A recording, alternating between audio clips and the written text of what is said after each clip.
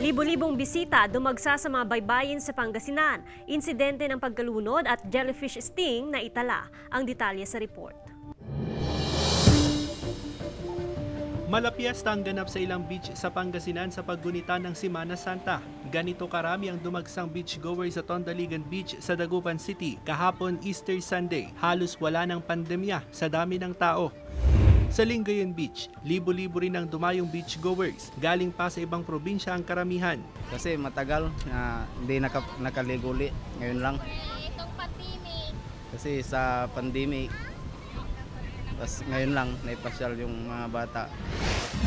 Hindi naiwasan ang insidente ng pagkalunod. Sa San Fabian Beach, patay ang 26 anyo sa si Zoren Villena na galing pa ng La Union matapos sumanong tangayin ng alon habang naliligo sa dagat. Sisiming lang naman siya, then bigla na lang siyang na nagpatulong.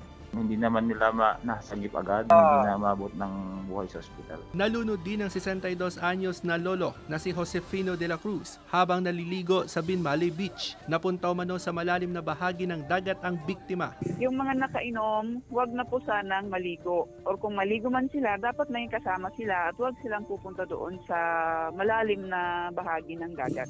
Wala pang consolidated data ang Pangasinan DRRM office sa bilang ng drowning incident simula nang umira lang Oplan Sumbak pero nakapagtala sila ng mahigit 20 insidente ng jellyfish sting. yung mga magulang dinadala nila yung mga mga mga bata o kaya kung kung yung mga na, na sting na jellyfish sting sa ating beach tower. At yung wasar ini-inform tayo through radio at kinukuha at dinadala doon sa medical station. Kasama si Daryl Peralta, Russell Simorio. Balitang Amyanan.